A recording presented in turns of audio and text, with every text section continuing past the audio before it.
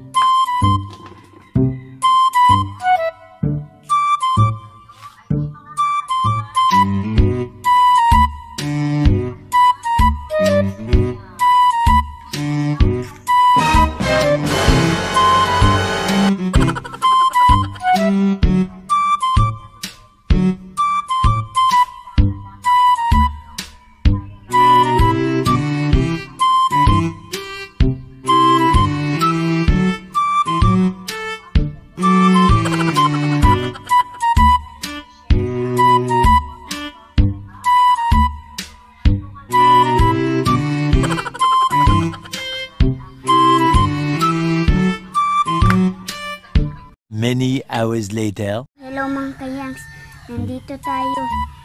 Aking iba-vlog si Daddy na natutulog. Nandito siya kasi napagod sa paglalaba. Yan mga kayangs, yun ang aming irayan. So, mga kayangs, pagod na pagod ang aking daddy mga kayangs.